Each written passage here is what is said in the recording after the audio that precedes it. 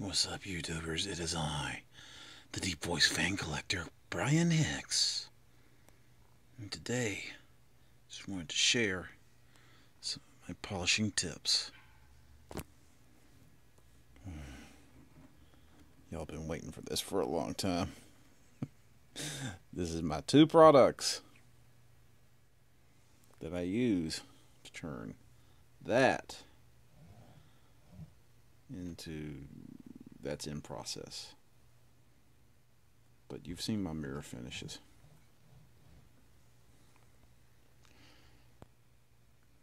Okay, first we start with the Meguiar's number 7 show car Glaze. And we work it in. You don't want to let this stuff dry. Use a liberal amount. Uh, you can get these products at Harbor Freight here until I've worked it in. Okay, it's been worked in now. I'm going to wipe it off.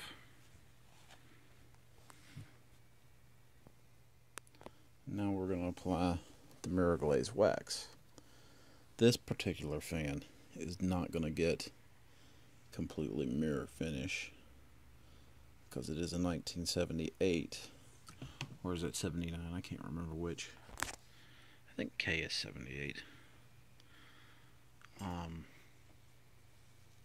anyway, it's a 78, and they didn't really make these mirror finish from the factory.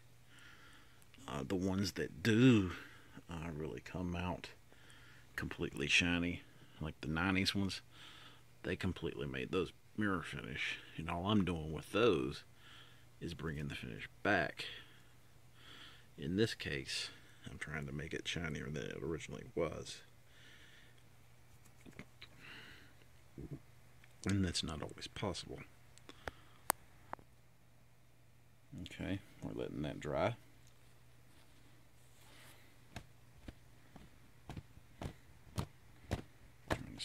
Speed up the process a little bit. Okay, and then you wipe it off.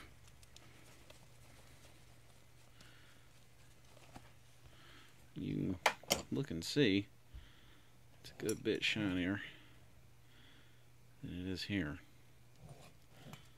Like I said, it, it's really not a massive difference on this as it would be here because these are already a lot shinier such as all of those like I said this being such an early fan it never really was shiny because they had just uh, started making brass fans at this point. I think 77 was their first year.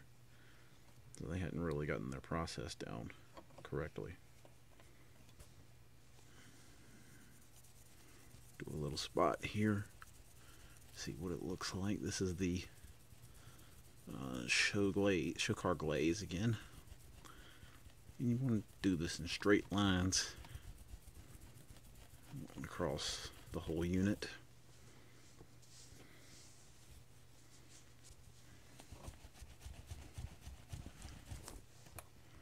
You see, a good little bit shinier. Let's see. And this is the wax side. I'll put a little bit more on there.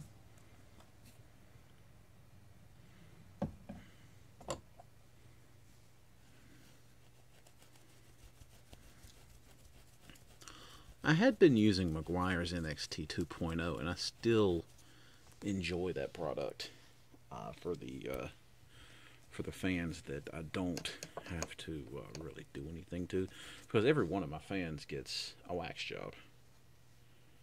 Every one, whether they're painted or not.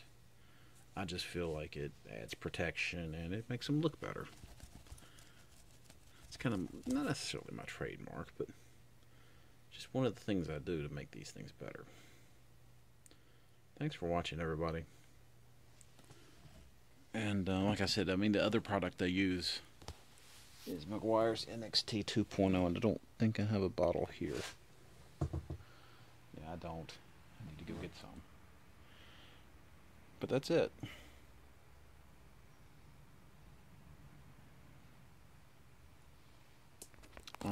I said, you can buy these. You cannot get this at Advance Auto Parts. At least I don't think you can.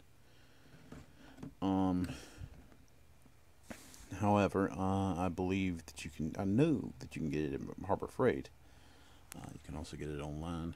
Um, there are several different series, or several different numbers in the series, and uh, this number seven is kind of like uh, it's what is it? It is I mean step seven. Like step one is like a rough cut rubbing compound, and then there's number nine is uh, a cleaner wax. So I mean, like this is this is the last thing that you do uh, before you uh, before you wax. Like after you've cleaned it, after you've I'm saying when I'm in reference to a car anyway. After you have rub, rubbing compound the car, polish compound, you uh, use this right here to uh, to remove the paint the paint swirls and such. So in in this case here, that's you know, if you had some swirls, which this fan does not, you could uh, use it on there. Here, I'll give you uh, because I have some more brass parts up here. This here is a good example of the mirror finish. Um, that's fairly mirrory. So let's uh, let's polish that. Okay, here's our number seven again. I'm gonna try to set this here. There we go. Again, using straight line rubs. I'm not pushing too hard because if you push really hard, you go through the. You can actually go through uh, the brass finish because this on originals and other hunters, it is actually a paint uh, or a, a tinted clear coat. Whoops. Okay, and look at that. You can see there's a difference there. And it's not even because it's not because this is necessarily dirty because it's not. It's just that uh, I mean it might be a little bit dirty, but not really. Okay, now for the wax. Okay, so we got a little another dab of wax on our rag, and you'll notice um, that I don't just whoops. Need to get a dedicated camera, y'all. Come on, subscribe, please, donate, do whatever you got to do to get me a real camera set up. I want to do live feeds in here, you know, where y'all can watch the shop operate live, 24 hours a day. I would love to do that. Um, but a lot of people, when they apply wax, they just go and then we'll let it dry. I like to move everything out of the way first. Getting tired of the noises. Again, using the straight lines instead of a circular motion.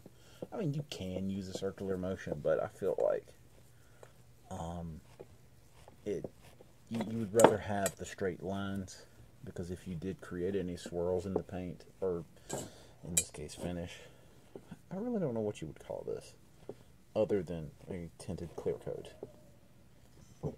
Let that dry. I like to, if I'm in a hurry, as I am in this video, I like to just do something like this or say in front of a fan until I see it haze over really good. And then the magic happens.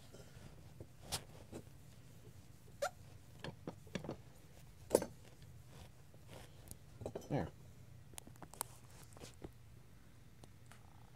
And that is how I get my freaking mirror finishes that I have been accused many times of, of, of using photo editing.